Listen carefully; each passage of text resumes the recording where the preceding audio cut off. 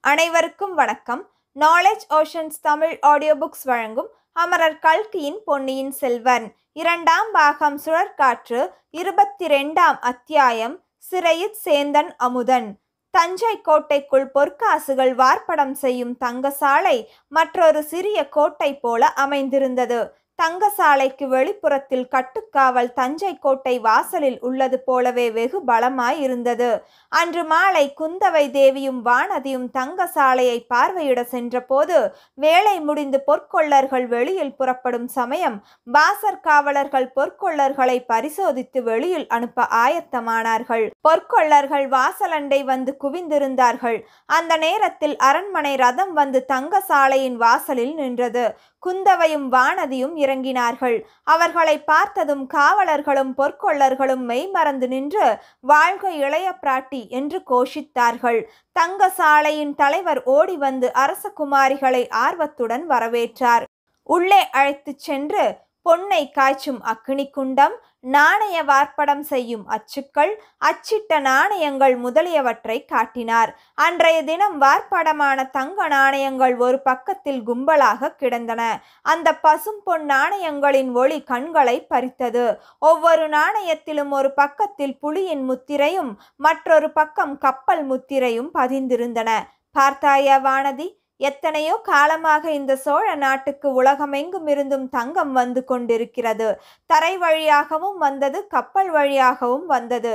இதுவரை அவ்வளவு தங்கத்தையும் சுமக்கும் பொறுப்பு சோழ நாட்டு பெண் குலத்துக்கே இருந்து வந்தது. ஆபரணங்களாக செய்து போட்டுக்கொண்டு தூக்க முடியாமல் தூக்கி வந்தார்கள். கொஞ்ச காலமாக சோழ நாட்டு பெண்களுக்கு அந்த பாரம் குறைந்து வருகிறது.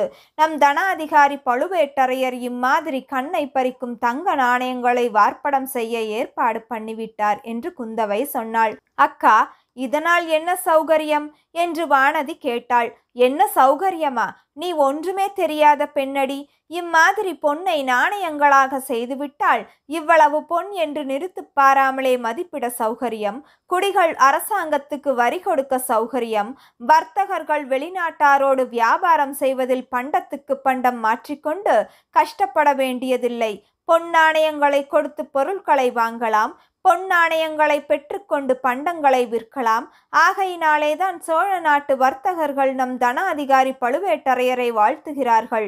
இன்னும் ஒன்று சொல்கிறேன் கேள் என்று குந்தவை தேவி குரலை தாழ்த்தி கொண்டு சொன்னாள். சக்கரவர்த்திக்கும் சக்கரவர்த்தியின் குடும்பத்துக்கும் எதிராக சதி செய்பவர்களுக்கு இந்த நாணயங்களினால் அதிக சௌகரியம். எப்படிப்பட்ட உத்தமர்களையும் இந்த பொற்காசுகளின் மூலம் துரோகிகளாக்கி விடலாம் அல்லவா? என்றாள். அருகில் நின்ற தங்கசாலை தலைமை அதிகாரியின் காதில் குந்தவை கடைசியில் கூறிய வார்த்தைகள் லேசாக விழுந்தன. அந்த அதிகாரி ஆம் தாயே அம்மாதிரி பயங்கரமான வதந்திகள் எல்லாம் இக்காலத்தில் கேள்விப்படுகிறோம். ஆகையினாலேதான் இப்போது கொஞ்ச நாளாக இந்த தங்க சாலைக்கு கட்டுக்காவல் அதிகமாயிருக்கிறது. இதன் அடியில் உள்ள பாதாள சிறைக்கு வருவோர் போவோரும் அதிகமாகிவிட்டார்கள் என்று சொன்னார். வருகிறவர்கள் உண்டு. போகிறவர்கள் கூட உண்டா? என்று குந்தவை கேட்டாள். ஏன்? அதுவும் உண்டு. இன்று காலையில் ஒருவனை கொண்டு வந்தார்கள். ஒரு நாழிகைக்கு முன்னால் அவனை திரும்ப கொண்டு போய்விட்டார்கள் என்று அந்த அதிகாரி கூறினார். அது யாராயிருக்கும்? என்று குந்தவைக்கு சிறிது வியப்பாயிருந்தது. தங்க சாலைக்குள் பற்பல வேலைகள் நடக்கும் இடங்களை பார்த்துவிட்டு பின்புறமாக சென்றார்கள். பின் சுவரில் ஒரு சிறிய வாசல் இருந்தது. அதை திறந்து கொண்டு சென்றார்கள். சென்ற இடத்தில் வெளிச்சம் குறைவாக இருந்தது. கூரை தாழ்வாக இருந்தது. நாலு புறம் இருந்தும் கேட்டவர்கள் ரோமம் சிலிர்க்கும்படியான உருமல் சத்தம் கேட்டது. ஒரு சேவகன் தீவர்த்தி பிடித்து கொண்டு நின்றான். அதன் வெளிச்சத்தில் நாலு புறமும் உற்று பார்த்தபோது பல கூண்டுகளும் அவற்றுக்குள்ளே அடைப்பட்ட புலிகளும் இருப்பது தெரிந்தது.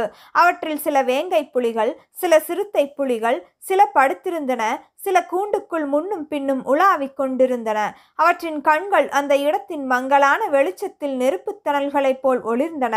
குந்தவை வானதியின் கரத்தை கெட்டியாக பிடித்துக்கொண்டு அடியே பயமாயிருக்கிறதா? இங்கே மூர்ச்சை போட்டு விழுந்து வைக்காதே என்றாள். வானதி லேசாக சிரித்துவிட்டு புலியைக் கண்டு என்ன பயம் அக்கா? புலி நம்முடைய குலத்தின் காவலன் அல்லவா? என்றாள். சில சமயம் காவலர்களை எதிரிகளுடன் சேர்ந்து விடுகிறார்கள் அல்லவா? அப்போது அபாயம் அதிகமாயிற்றே. இல்லையக்கா மனித காவலர்கள் அப்படி ஒருவேளை துரோகம் செய்யலாம். இந்த புலிகள் அப்படி செய்ய மாட்டா. சொல்வதற்கில்லை. இந்த புலிகள் எத்தனையோ ராஜாங்க துரோகிகளை சாப்பிட்டிருக்கின்றன. அவர்களுடைய ரத்தம் இந்த புலிகள் உடம்பில் கலந்திருக்கும் அல்லவா? பயமே இல்லை என்று சற்று முன் கூறிய வானதியின் உடம்பு இப்போது சிறிது நடுங்கத்தான் செய்தது. அக்கா என்ன சொல்கிறீர்கள்? உயிருள்ள மனிதர்களை இந்த புலிகளுக்கு இரையாக கொடுப்பார்களா என்ன? என்று கேட்டாள். அப்படி செய்ய மாட்டார்கள். இந்த தங்க சாலைக்கு அடியில் பாதாள சிறை இருக்கிறது என்று சொன்னேன் அல்லவா? அதற்குள் போவதற்கும் வருவதற்கும் ஒரே வழிதான். அந்த வழி இந்த புலி மண்டபத்தில் இருக்கிறது. சிறைக்குள்ளிருந்து யாராவது தப்பித்து வர முயன்றால் இந்த மண்டபத்துக்குள்ளே தான் வரவேண்டும் அப்போது புலிகளுக்கு இரையாவார்கள். சிவசிவா என்ன கொடூரம்? ராஜாங்கம் என்றால் அப்படித்தான்.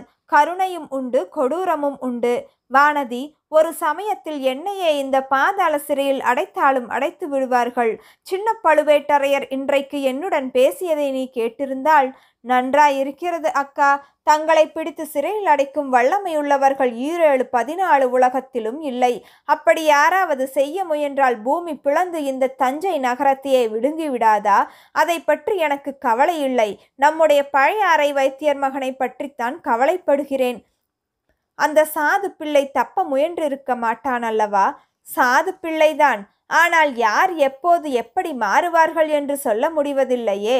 புலிகளின் உருமல் கோஷம் இன்னும் அதிகமாயிற்று. காவலனை பார்த்து புலிகளுக்கு ரொம்ப கோபம் போலிருக்கிறதே என்றாள் குந்தவை. இல்லை தாயே சக்கரவர்த்தியின் திருக்குமாரியை இவை வாழ்த்தி வரவேற்கின்றன என்று காவலன் சமத்காரமாய் மறுமொழி கூறினான். நல்ல வரவேற்பு. என்றாள் குந்தவை. அதோடு புலிகளுக்கு இரை போடும் சமயம் நெருங்கிவிட்டது. இரையை நினைத்து உருமுகின்றன. அப்படியானால் நாம் சீக்கிரம் போய்விடலாம். சிறையின் வாசல் எங்கே இருக்கிறது? மண்டபத்தின் மூளைக்கு இதற்குள் அவர்கள் வந்திருந்தார்கள். அங்கிருந்த புலிக்கூண்டு ஒன்றை காவலர்கள் அப்பால் நகர்த்தினார்கள். அங்கே தரையில் பதித்திருந்த கதவு ஒன்று காணப்பட்டது. இரண்டு ஆட்கள் குனிந்து கதவை வெளிப்புறமாக திறந்தார்கள். உள்ளே சில படிக்கட்டுகள் காணப்பட்டன. அவற்றின் வழியாக ஒவ்வொருவராக இறங்கிச் சென்றார்கள். இருள் அதிகமாயிற்று. இரு சேவகர்கள் பிடித்திருந்த இரண்டு தீவர்த்திகளிலிருந்து புகையினால் மங்கிய வெளிச்சம் வந்து கொண்டிருந்தது. குறுக்கும் நெடுக்குமாக சென்ற குறுகிய பாதைகளின் வழியாக அவர்கள் ஒற்றை வரிசையில் போக வேண்டியிருந்தது. அங்கே புலிகளின் பயங்கர உருமல் ரோமம் சிலிர்க்க செய்தது என்றால் இங்கே நாலு புறத்திலும் எழுந்த தீனமான சோகமயமான மனிதர் குரல்கள் உள்ளம் பதறி உடல் நடுங்க செய்தன. ஆனால் அந்த தீன குரல்களுக்கு மத்தியில் விந்தை விந்தை ஓர் இனிய குரல் இசைத்ததும் கேட்டது. பொன்னார் மேனியனே புலித்தோலை அரைக்கசைத்து மின்னார் செஞ்சடை மேல் மிளிர்கொன்றை அணிந்தவனே. அந்த பாதாளச் சிறையில் இருந்த அறைகள் ஒரு வரிசையாக இல்லை. முன்னும் பின்னும் கோணலும் மாணலுமாக இருந்தன. ஒவ்வொரு அறை வாசலிலும் சென்று காவலன் தீவர்த்தியை உயர்த்தி பிடித்தான். சில அறைகளில் உள்ளே ஒருவனே இருந்தான். சிலவற்றில் இருவர் இருந்தார்கள். சில அறைகளில் இருந்தவர்களை சுவரில் அடித்திருந்த ஆணி வளையத்தில் சேர்த்து சங்கிலியால் கட்டியிருந்தது. சில அறைகளில் அவ்விதம் கட்டாமல் சுயேச்சையாக விடப்பட்டிருந்தார்கள். ஒவ்வொரு அறையிலும் இருந்தவர்களின் முகம் தெரிந்ததும் குந்தவை தேவி தலையை அசைக்க எல்லோரும் மேலே சென்றார்கள். நடுவில் ஒரு சமயம் வானதி இது என்ன கொடுமை? இவர்களை எதற்காக இப்படி அடைத்திருக்கிறது? நீதி விசாரணை ஒன்றும் கிடையாதா? என்று கேட்டாள். அதற்கு குந்தவை சாதாரண குற்றங்களுக்கு நீதி விசாரணை எல்லாம் உண்டு.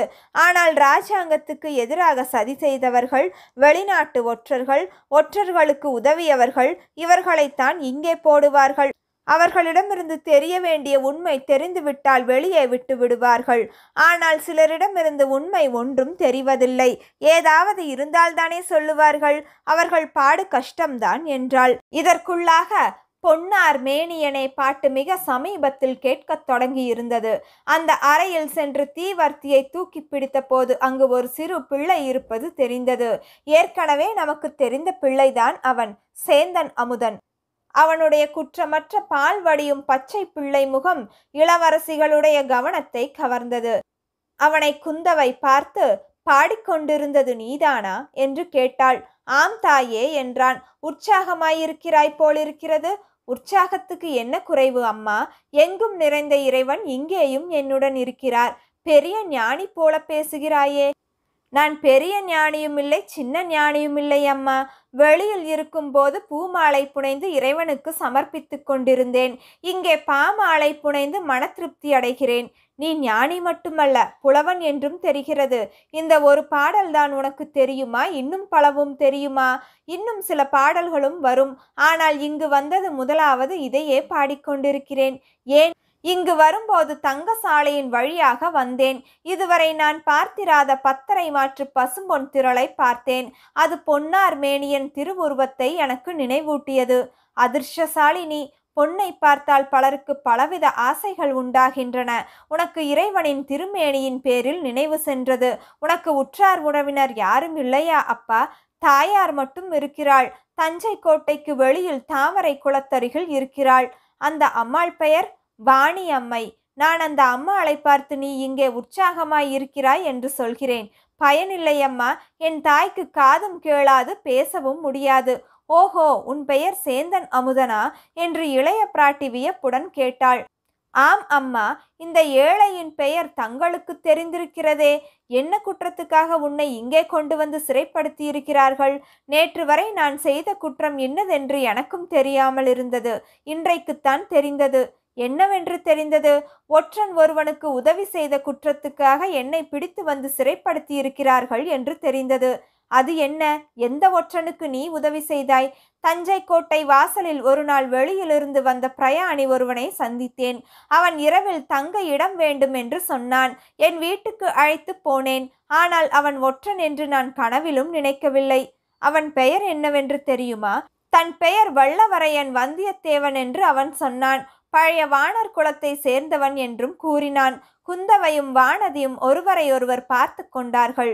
இருவருடைய உள்ளங்களும் ஒத்து பேசிக்கொண்டன வானதி சேந்தன் அமுதனை பார்த்து எல்லாம் விவரமாகச் சொல்லப்பா என்றாள். சேந்தன் அமுதன் அவ்விதமே கூறினான். வந்தியத்தேவனை கோட்டை வாசலில் தான் சந்தித்ததிலிருந்து பழுவூர் ஆட்கள் தன்னை ஆற்றங்கரையில் பார்த்து பிடித்து கொண்டது வரையில் சொன்னான். யாரோ முன்பின் தெரியா ஒரு வழிப்போக்கனை நம்பி நீ எதற்காக அவ்வளவு தூரம் உதவி செய்தாய்? என்று வானதி கேட்டாள். தாயே சிலரை பார்த்தால் உடனே நமக்கு பிடித்து போகிறது. அவர்களுக்காக உயிரையும் கொடுக்கலாம் என்று தோன்றுகிறது. காரணம் என்னவென்று சொல்வது? இன்னும் சிலரை பார்த்தால் அவர்களை கொன்று விடலாம் என்று தோன்றுகிறது. இன்றைக்கு ஒரு மனிதனை என்னோடு கொஞ்ச நேரம் அடைத்து வைத்திருந்தார்கள். அவன் பேரில் எனக்கு வந்த கோபத்துக்கு அளவில்லை. நல்ல வேளையாக சற்று நேரத்துக்கு முன்பு பழுவூர் இளையராணியின் ஆட்கள் வந்து அவனை விடுதலை செய்து கொண்டு போனார்கள். அதுவும் அப்படியா? என்று குந்தவை பற்களினால் தன் செவ்விதழ்களை கடித்து கொண்டாள். அவளுடைய புருவங்கள் நெறிந்தன ஆத்திர பெருமூச்சு வந்தது. அவ்வளவு அவசரமாக விடுதலையான மனிதன் யார்? உனக்கு தெரியுமா? என்று கேட்டாள். தெரியாமல் என்ன? யாரோ பழையாறை வைத்தியன் மகனாம். அப்படி என்ன அப்பா? அவன் தகாத வார்த்தைகளை சொன்னான். அவனை கொன்றுவிடலாமா? என்று அவ்வளவு கோபம் உனக்கு வந்ததாக சொன்னாயே. கோடிக்கரையில் என் மாமன் மகள் பூங்குழலி இருக்கிறாள். அவளை பற்றி இவன் தகாத வார்த்தைகளை சொன்னான். அதனாலேதான் அவன் பேரில் எனக்கு அவ்வளவு கோபம் வந்தது.